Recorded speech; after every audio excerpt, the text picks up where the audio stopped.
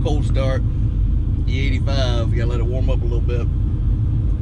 So we're letting it warm up today before I go to work, just wanna um, talk about something. And um, what I'm talking about here is PayPal. Have you heard the latest about PayPal?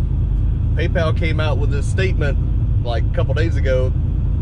They want to charge people for misinformation. Whatever they deem was misinformation, they want to be able to charge you $2,500. They want to just fine you, like uh, put a hold on your bank account, take $2,500 because they thought you were promoting misinformation on the internet. Now we already know what that means. You know, whatever they feel like um, goes against whatever they believe is true or, or not true, whatever.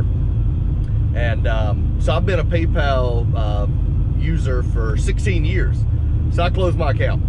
So the best thing to do is if you are a PayPal user, close your account, close it. Let's kill their stock. You know, let's uh, make companies like this take notice that, you know, they are not totalitarianism or authoritarianism or whatever you want to call it.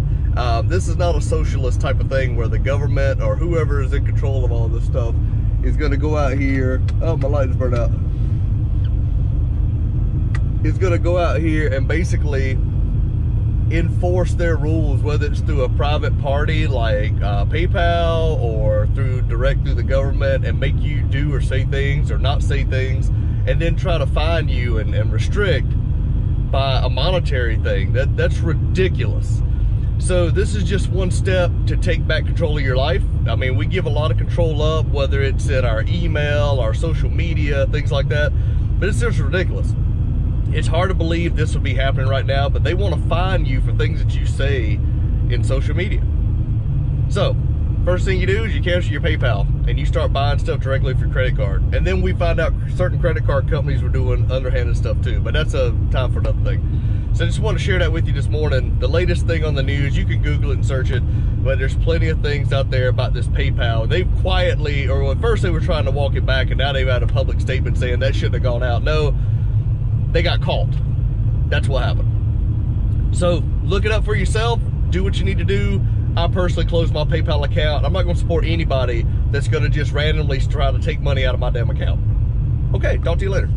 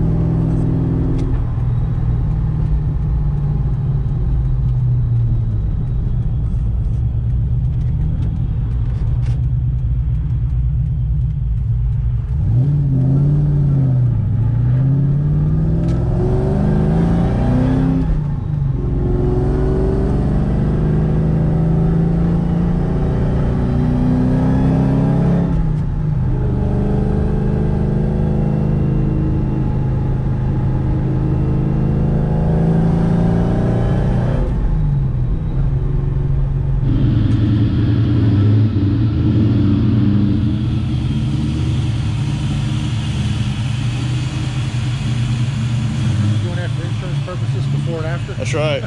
Just in case. He look like that when he left, damn it?